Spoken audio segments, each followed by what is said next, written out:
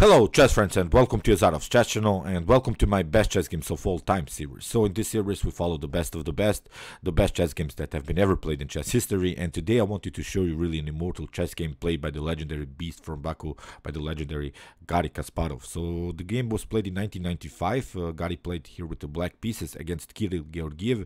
Kiril Georgiev also a respected grandmaster from Bulgaria back, back in the 90s and uh, what the good thing about this game was that Kiril Georgiev went into tactical battle against Garry Kasparov.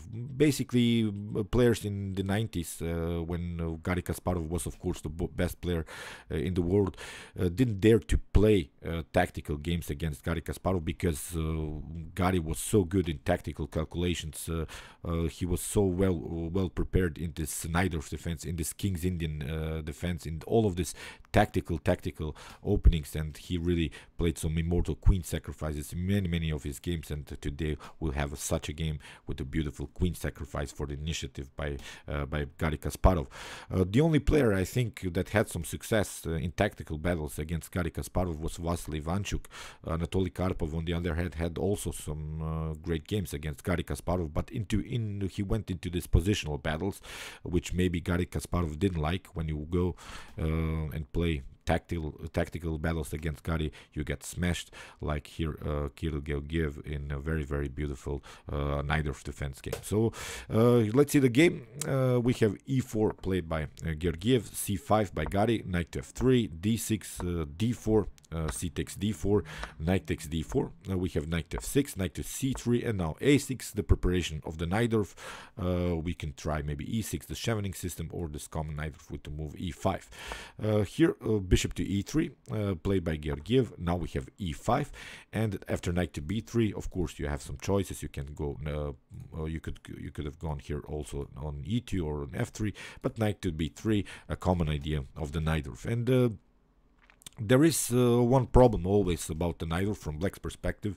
You have the d5 weakness, you have the d6 weakness, but it's not so easy to attack these weaknesses. You could try maybe knight, knight outpost on d5, but after uh, knight takes d5 and e takes d5, uh, black has then a pawn majority uh, on the king side, so that's also one of the main ideas of the Najdorf. And the problem is you cannot attack uh, this weakness on d6 with the move knight to b5 because this a6 is this preparation of blacks to restrict this uh, knight's ability to play. So um, this setup of blacks is this so-called Boleslavsky hole setup. Uh, Magnus Carlsen plays this now plays this now very often in the Sveshnikov Sicilian, and uh, you see how uh, even great players struggle against this setup. It seems that black has several weaknesses, but it's really, really hard to occupy them. So uh, in the game, bishop to e6 played by Kasparov. Uh, here we have f3, a common idea with the immediate preparation to play the move g4, h4, then simply expand on the uh, king side, uh, trying to get uh, sort of a pawn majority attack here uh, with maybe even g6, h6. If, for instance, black's castles, then it could be really dangerous. And now white has also a good position, queen to d2, then queen, queen side castling is the possibility going into a fast attack on the king side. So after bishop to e7, we have this move queen d2, knight uh, from b to d7, and now g4.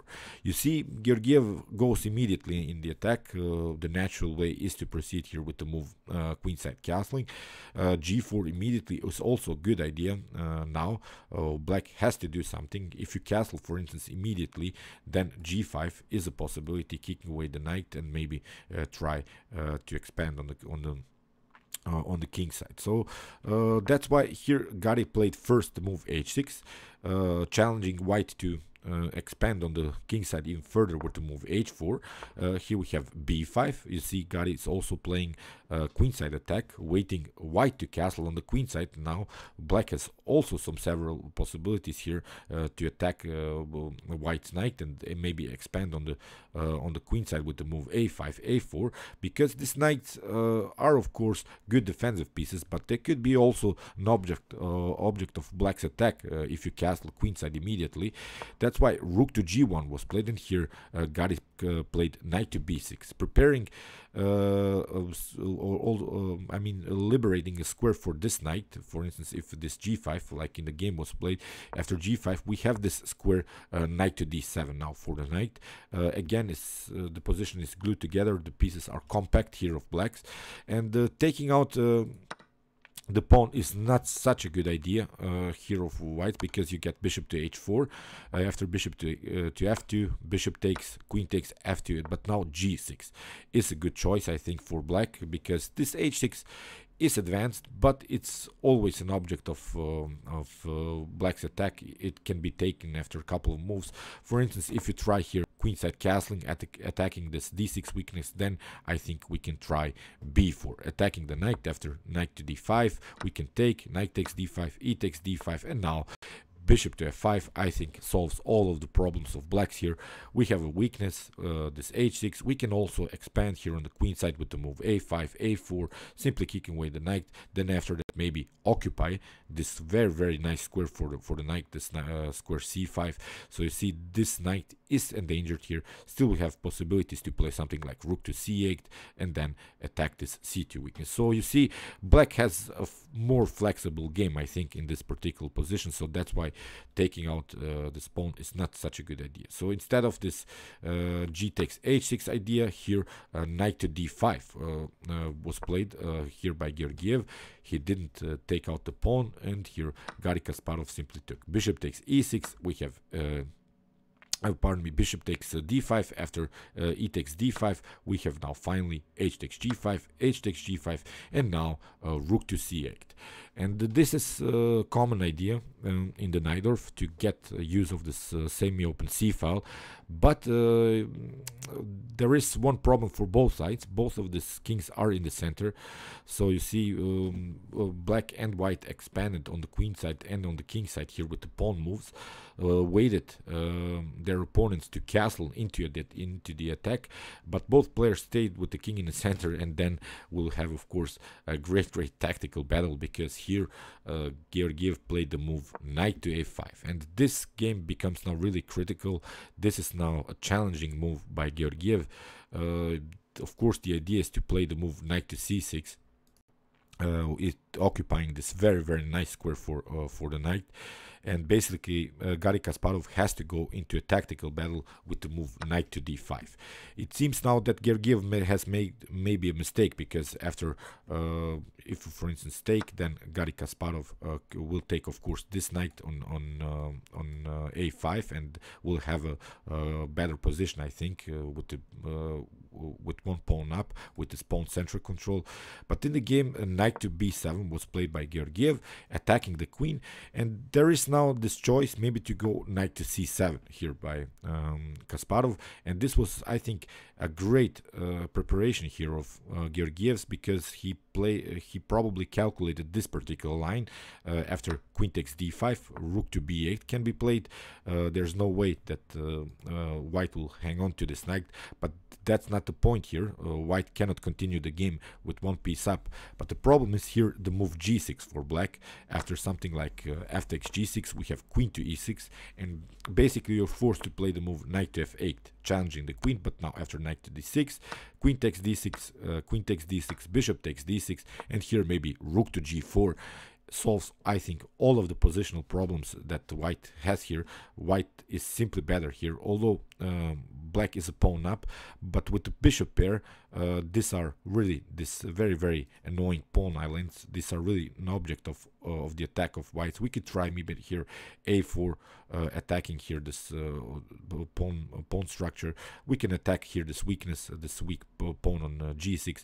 It's also here a weak g6 g7 pawn. So I think white has a comfortable game. If even queenside castling, then after that is here the possibility attacking the bishop. So I think this could be really completely winning endgame here for for white. So that's why uh, Garry Kasparov, after the move um, uh, knight to b7, he didn't uh, uh, care for his queen. He played the move knight to e3, sacrificing the queen. You see, um, he calculated all of this uh, very, very good. I think after knight takes d8, we have uh, knight takes c2 uh, attacking uh, the king and the rook, playing sort of a fork. After king to d1, we have knight takes uh, a1. And uh, here knight to b7 was played by Georgiev, which wasn't a good move, I think. Uh, a better idea is to play maybe knight to f7, because you lose the knight anyway.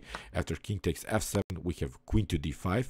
This would be a possible continuation after something like uh, king to e8 we have bishop to d3 and uh, here Garry Kasparov has to go maybe here to d8 still everything is compact but now uh, after queen to b7 maybe uh, rook to uh, h2 is the possibility getting this knight somehow uh, in uh, because your knight is still endangered if you lose the knight then of course white has a completely winning endgame but uh, with this move rook to h2 it's playable i think for both sides.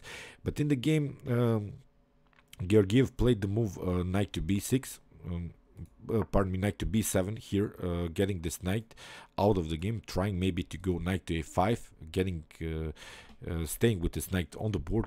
And here Kasparov played simply the move knight to c2, uh, getting also his knight out, and here g6 played by Georgiev. And here Kasparov makes a mistake, I think. Uh, he took, um, he played the move knight to d4, allowed here um, Georgiev to take out the pawn on f7. A better idea, I think, is to continue with the move f5. Uh, if, for instance, knight to d6 is played, then we can simply take uh, king uh, bishop takes d6 after queen takes d6. Now rook to h2 is a very nice move, I think. You could try maybe queen to e6, attacking the the king. That's not a problem. But now king to d8 and now queen to b8 is with the check. It's not a problem. We can hide again with their king on c7. If you, for instance, take out this pawn, then knight to e3 is very, very dangerous. If you go with your king on c1, then we have king to d6, and after something like king to b1, here rook to c2, and I think it's game over here for for um, white you cannot defend this pawn anymore. This is a huge huge activity uh, with these three pieces here. The knight you see how the knight is a good defender uh, in front of the queen. Uh, there are no checks now possible uh, here by um, by Georgiev. So it's as said after the move uh, g6 Kasparov made a slight inaccuracy. I think he played the move knight to d4 and this allowed now um, Georgiev um, to go back into the game, I think, after f takes, uh, g takes f7, we have king takes f7, and now bishop to d3, preparing uh, a very annoying check here on g6. Uh, in the game, g5 was played, we have queen to g2, and now a knight to f6. Here, uh, plays simply a regrouping move, trying to get these pieces again glued together, uh, being compact. Uh, you have you want to have, of course, your knight in front of the king. You saw how this knight is a good defensive piece when the queen comes into the game. In the game, uh, queen to g5 was played, and now uh, rook to g8. The challenging uh, gives queen, and uh, bishop to g6 was played. A counter attack, king to f8, and now knight to d6. A very nice move by Georgiev. Of course, you cannot take the knight because you get queen to f f6 and you get checkmated. Uh, so that's why uh, rook to h5 was played by uh, by Kasparov. And there are now several choices uh, here for uh, for Georgiev, and uh, here was I think the critical moment or the cr main mistake that Georgiev has made. Uh, let's for instance see possible continuations. First after bishop takes h5 uh, rook takes g5 can be played. Here rook takes g5 and here after bishop takes d6 uh, I think black has a better game uh, because uh, you have two pieces for the rook. That's a better position. You could attack here this weak pawns. Uh, everything is again compact here for black so this is not a good choice here for white. You could uh, in the game queen to g2 was played by Georgiev which as I said was a mistake. The better idea is here to play queen to e3 and this queen to e3 leads basically into um, drawish line I think. Uh, there are now several choices. If you try rook to rook to g6 then uh, rook takes g6 can be played and after uh, rook king to, uh, rook to h1 uh, black uh, white can try king to d2 but now knight to d5 is the possibility. You cannot take the pawn on e5 because you get the fork. So basically queen to e4 4 is the main idea but now uh, black can only hope here for perpetual checks after king to d1 again uh, some perpetual check possibilities. So this wasn't played in the game as i said.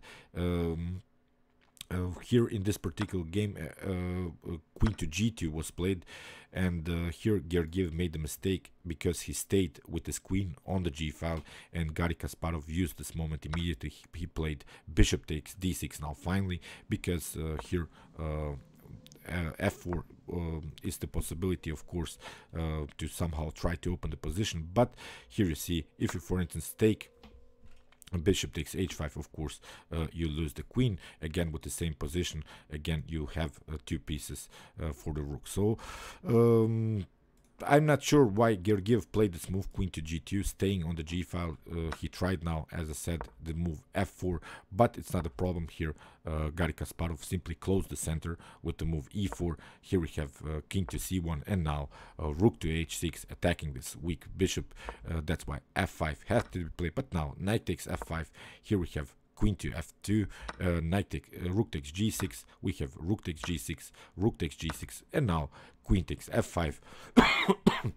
Another problem because here uh, king to f7 uh, can be played. And you see now everything is uh, uh protected uh, the pawn on uh, e4 is also protected. You cannot check creating you cannot create perpetual checks here anymore here um, queen to f2 was played trying maybe some checks on the on on the seventh rank but not a problem here. Garry Kasparov simply proceed with queen to, king to e6 here we have queen to b6 now rook to um, g5 okay, here uh, Georgiev took, but now we can simply continue to push this pawn. This is now main advantage here, the pass pawn that uh, Garry Kasparov has created. We have king to d1, uh, now rook to uh, e5, very important move, getting this rook behind this pawn. Now this is really a serious threat now. But Georgiev tried, okay, uh, queen to c8, not a problem. Uh, now several checks were played here after queen to g4 here b4 also very important move uh, not allowing here um, Georgiev to create also some pass pawn situations queen to c4 again king to d8 king to e7 again you see um, Georgiev can only hope here for draw if um, Kasparov makes a mistake, if he goes on a weird square, I don't know, maybe in in the corner, and then uh, Georgiev could have played some perpetual checks. But here, after queen to h4, here Garry Kasparov simply goes on on on the queen side with uh, king to c8. Again, another check is possible, but not a problem. Here we have rook to uh, e6 again everything is uh, protected. After king queen to, queen to g7 we have again king to c6 we have queen to g2 and now king to king to c5 no checks are possible anymore so that's why queen to g5 and here uh, Georgiev played uh, uh, pardon me Kasparov played rook to g6 a very tricky move of course you cannot take because you get the fork on on f4 queen to d8 was played and now finally rook to g2 uh, basically in this position it's game over because now uh, this pawn will get uh, on the second rank but uh, after king to d3 we have uh, rook to uh, d2 you have only one square king to e4 and now e2 okay again Georgiev played some checks. We have king to c6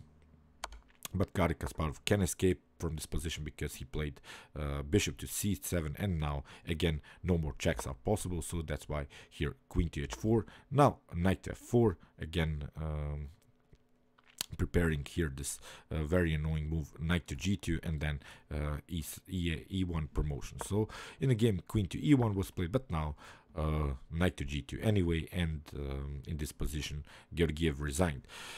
So great, great game, I think, by Garry uh, with his queen sacrifice. Uh, you see, Georgiev also prepared some great tactics against uh, Garry Kasparov, but uh, the legendary Garry likes these types of position, likes to go into tactical battles and here Georgiev got punished for not cal calculating everything good I think uh, he should have gone into this line uh, with this potential uh, g6 move splitting the pawns in front of in front of Garry Kasparov's king but okay still this was really one of the best queen sacrifices I think especially by Garry Kasparov who likes really to challenge you to play uh, this types of variation. He doesn't play this Berlin uh, defense. Uh, he doesn't play this uh, complicated positional lines. He goes into straightforward lines, and that's why we love him. We love his games, and we I really um, think that he was really one of the best chess players in history. Even maybe he was even the best. I think. Okay. Okay, I hope you enjoyed this game. Uh, meanwhile, you can follow my other best chess games of all times from the series. Here is the link, and you can also watch my commented chess games played by computers with some Leela C0, Alpha Zero, uh, Stockfish games, and many, many more. And you can also subscribe to my channel if you like this content. Thanks you for watching, guys, and chess is the best, of course.